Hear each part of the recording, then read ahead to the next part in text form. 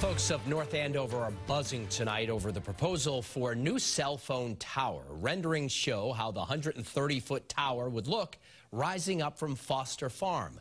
The developer has proposed making the tower look like a tree, which it does, but some neighbors say it will destroy the historic feel of the area. Supporters say that cell phone coverage is spotty in that area, and they could really use a boost in power. The issue will be hotly debated tomorrow night at the town's planning meeting.